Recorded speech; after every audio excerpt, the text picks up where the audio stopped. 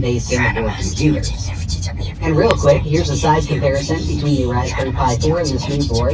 As you can see, they're around the same size, but we don't have as much I.O. sticking out on this new one here.